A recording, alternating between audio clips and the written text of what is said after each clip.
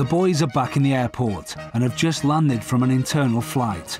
Before they go, there is still a good opportunity to make one last steal at the baggage reclaim. After every flight, all travellers' bags are left exposed as they are paraded around in front of total strangers.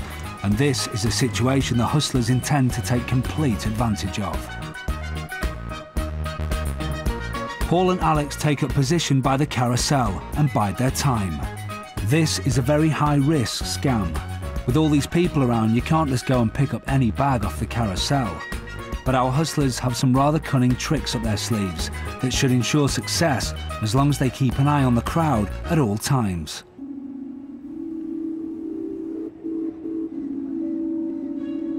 Paul is looking out for his own case he put through security.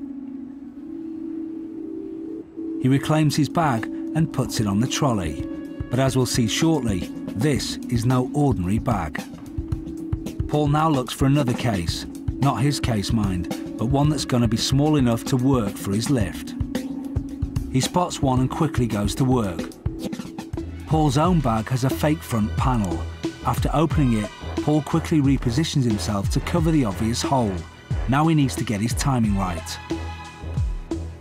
He feeds it through the false panel, quickly zips it up, and within seconds the bag has gone from sight and gone for good.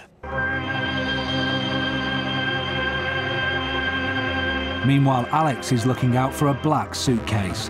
Not his, of course, but somebody else's. He quickly grabs an innocuous black bag, and with the help of two very nifty props, a vivid strap, and a brightly coloured luggage tag, the simple black case instantly becomes a different bag in appearance that no one would even think was their own.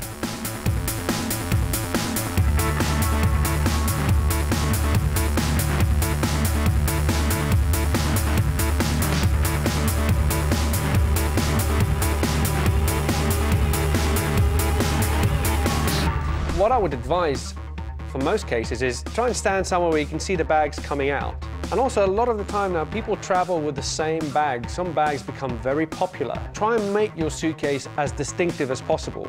Put a strap around it, put a label on it that makes it distinctly yours. So the moment you see somebody trying to take that off, you know what to do.